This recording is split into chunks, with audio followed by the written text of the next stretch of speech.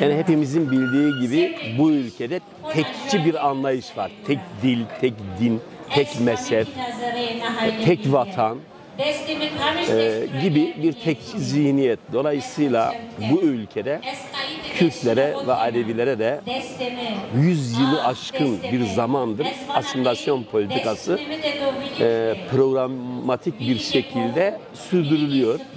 Bu cum, yani Cumhuriyet'in kuruluşunda 1921 Anayasası'nda kısmen işte insan haklarına dayalı bir şeyler vardı. Yani işte insanlar kendisini ifade edebilir. Ancak 1924 Anayasası'ndan sonra İttihat Terakki e, zihniyetiyle İttihat Terakki'nin kadrolarıyla e, bu ülkede en ince ayrıntısına kadar asimilasyon politikaları bu ülkede sürdürüldü. Tabii asimilasyon politika bir, bir, bir bütün olarak asimilasyon politikaları sadece teorik olarak sürmedi.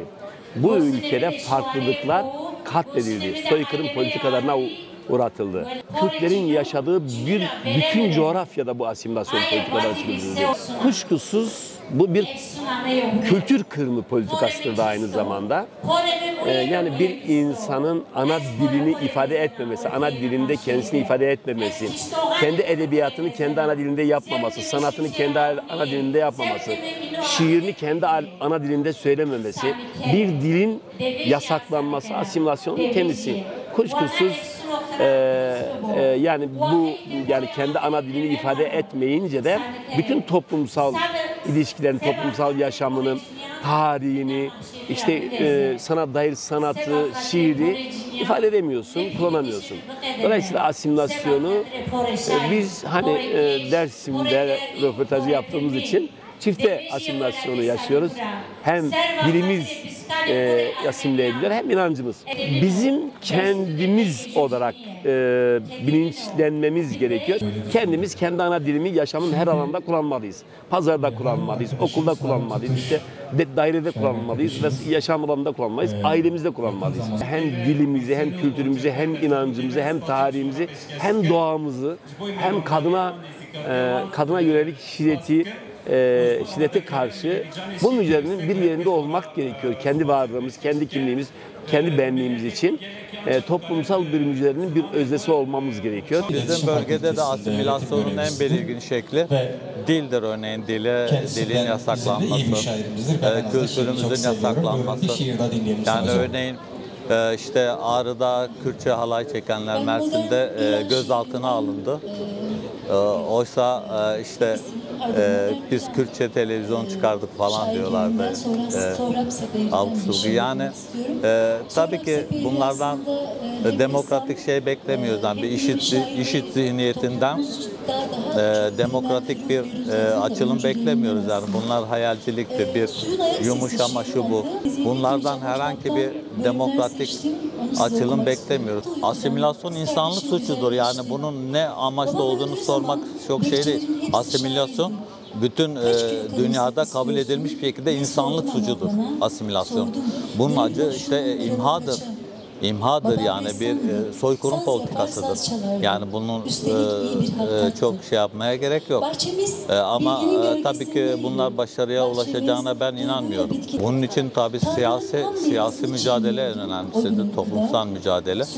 Veriliyor da yani e, bu o kadar aşırı baskılara karşı e, e, yine de e, e, belirgin bir direniş var yani insanlar o kadar e, binler e, hemen hemen her evde her yerde gözaltılar şunlar bunlar yani uçan kuşu gözaltına alıyorlar. Ama ona rağmen de e, direniş devam ediyor her yerde. Belli oranda belki biraz daha eskiye oranla cılız ama direniş her zaman var. Her yerde de var yani.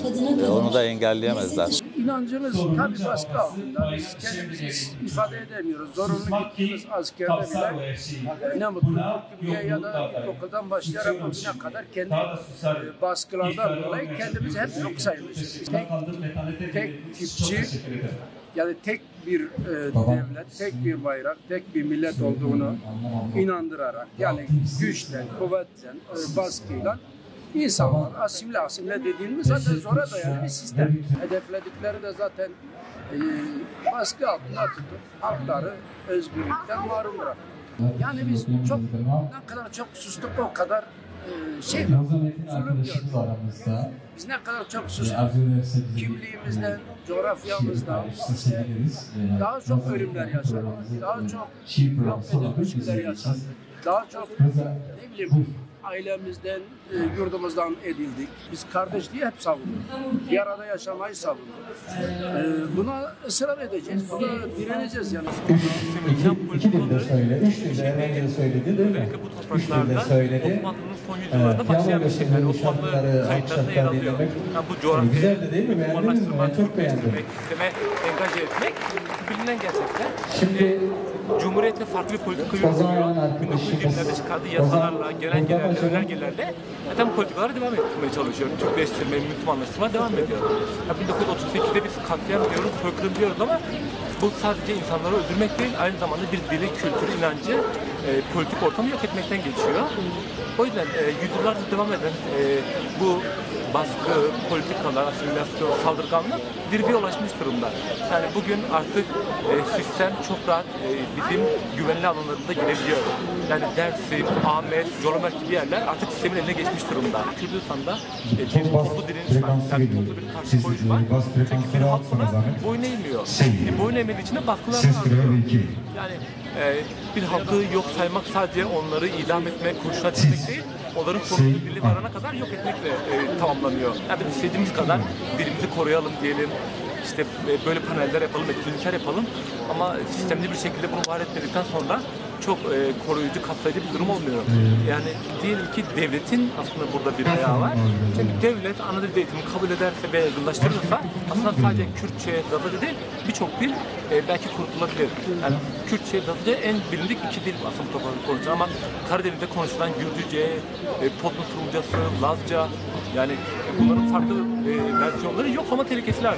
Keza Kürdistan'da mesela işte Mardin'de sadece bir köyün, bir ailenin, bir kişinin konuştuğu diller var.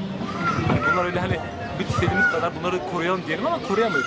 İki şekilde var. Biri devlet ayağı, yani devletin bu işleri atması gerekiyor. İki de e, yani sol, sosyalist yurtsever kurumların bu şey yapması gerekiyor bu konuda. Bugün Kürdistan'ın birçok yerinde belediyeler kazandı yerel seçimde.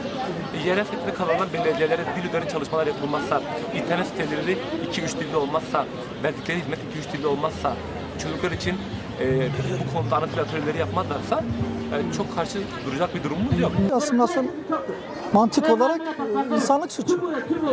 Bunu söyleyebilirim. Her insanın dili, her insanın kültürü kendisine özeldir, özneldir. Ee, renktir bu ülkenin rengidir yani. Farklı diller, farklı kültürler.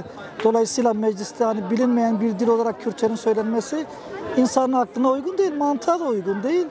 Yani Kürtçe konuşursa Kürtçedir, Arapça konuşursa Arapçadır, Çerkezce konuşursa Çerkezcedir. Yani dil olgusal bir varlıktır bu evrende. Yani hangi kültürde olursa olsun, hangi ülkede olursa olsun farklı dillerin olması, farklı kültürlerin, farklı inançların olması zenginliktir. Var olan her dil yaşatılmaya çalışılmalı. Bu bir devlet politikası olmalı. Devlet o